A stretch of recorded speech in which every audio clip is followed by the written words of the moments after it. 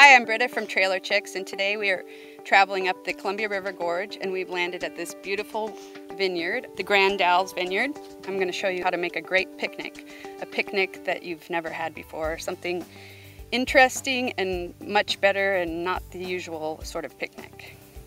The first picnic I've put together has a French theme. So I made these delicious sandwiches. They are made from a baguette and then layered in there we have some really nice vinaigrette, some hard-boiled eggs, canned tuna in olive oil, fresh basil, some red onions, red peppers.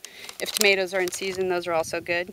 So then you layer that, wrap it up tightly, and then put heavy weight on it for a couple hours. And these can be wrapped up for 12 hours, they're good to go. So great picnic food. Just want to make sure when, anytime you pack a picnic, you want to make sure you have ice because you need to keep the cold food cold.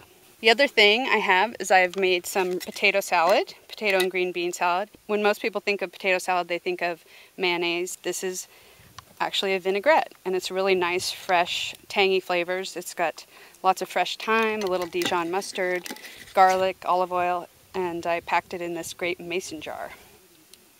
And then to finish it off, I have some grapes here, which are nice, cold, refreshing dessert, or you could get some cookies or whatever you like for dessert, a brownie, something delicious. So that's a great easy picnic, just three things, and it goes perfectly with a nice dry Riesling. Our second menu is an Italian themed menu, and it's going to start out with some olive ciabatta. And I've made a white bean and rosemary dip to go with that, which is great. If you're really hungry, you can just dig into that right away. And then the entree is going to be a really nice chopped salad. Everything is chopped nicely. It's something you can prepare ahead. And I've layered it in this big jar.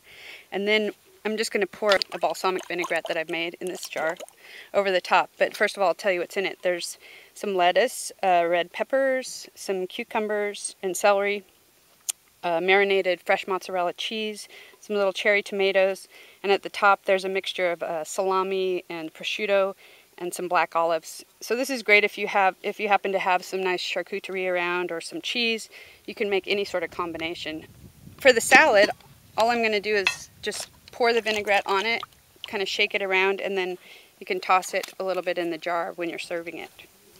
For dessert, I've brought some nice fresh fruit that's in season and um, some mascarpone, which is a nice creamy cheese to dip it into.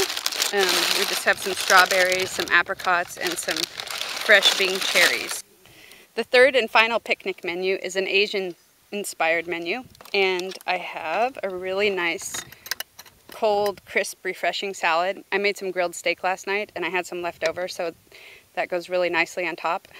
It's a noodle salad with rice noodles, cucumbers, carrots that you peel, radishes, cilantro, some big hit of mint and some nice salted peanuts. You could put really any protein on top. Um, chicken would be great if you had a nice piece of salmon, that'd be delicious. Or tofu if you don't want to eat meat. And then the dressing is really simple. It's got the the classic components of Vietnamese food, the salty, sweet, sour, and hot. And you can just pour that on, toss it to, to eat. It's perfect. And then for dessert, I just cut up some tangerines and some melon. There's something about the heat and melon I love eating cold melon. And this melon has a little extra added deliciousness. I took a little coconut milk and chilled it and mixed in a little lime juice and some brown sugar. So that's just drizzled on top with a little mint. And that is a beautiful Asian inspired picnic lunch. Great with a dry soda if you don't want to drink, maybe you're on the road and you don't want to drink and drive, this is always great to have this soda. It's specifically made to pair with food and not too sweet, so that's a really nice pairing. We look forward to seeing you next time when we make another great recipe. Thank you for joining us. That's how we roll, fabulously.